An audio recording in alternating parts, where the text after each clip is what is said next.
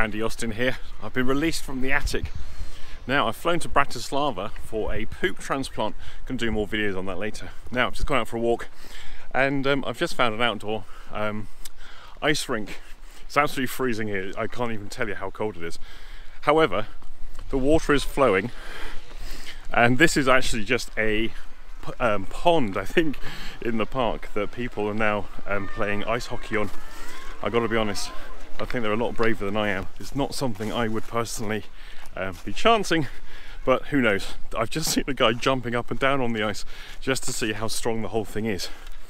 So, um, yeah, flew in last night from UK, had to go via Italy. It took all day. Door to door was 12 hours. The actual flight time was two hours. Had to go via Rome after countless form filling.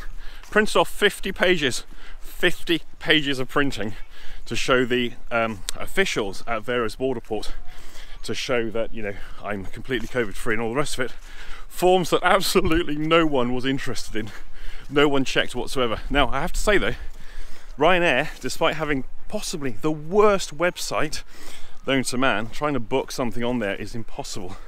They were the only flight operator actually coming into Bratislava that I was able to, uh, that matched up with the dates that I needed. Oh, getting short breath. Yeah, and so despite a terrible website, I've got to say Ryanair and their appalling reputation, very, very good. Um, Fulton service um, looked after the whole way, and of course the plane was virtually empty. Well, both planes. The airports were virtually empty. So if you want to fly, now is a very good time to fly.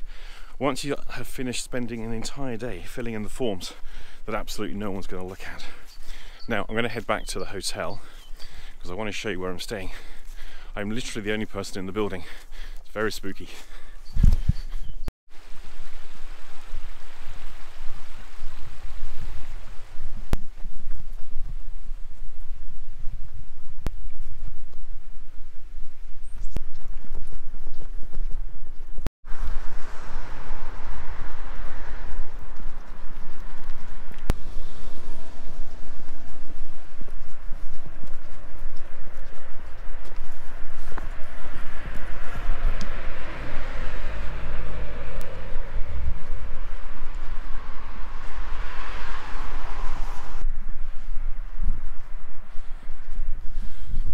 So one of the things I got to be really careful of is not to put my key card next to my phone.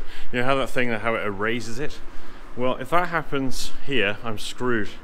I'm literally the only person here. They left me the key card in a security box I picked up on the way in. So I have my key card kept well away from my phone. Let me show you the hotel.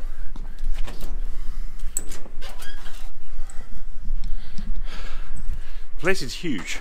It's actually attached to the clinic where I'm getting treatment. Now, let me show you.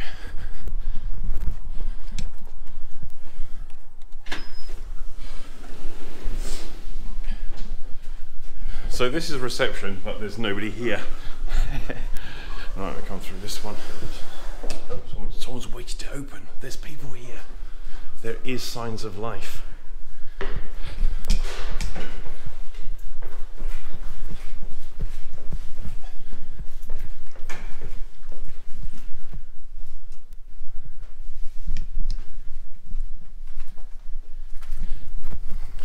Someone wakes the door open, but I can't hear any sounds of anybody here.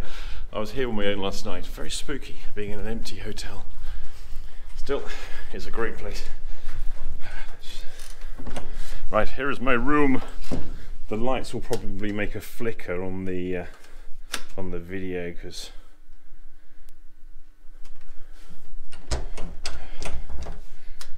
Haha, right, flickering begins. Right, let me show you around. Here is my room where I'll be for the next two weeks. This is not the treatment room, this is the hotel room. The clinic's next door. And um, let me just show you the obligatory bathroom. Well, I suspect I'm going to be spending a lot of time there this afternoon. I'm beginning the, um, the bowel prep this afternoon. Don't worry, I'll film the whole thing. So this will be my home for the next 12 hours, I think. Right, I'll see you in the next video.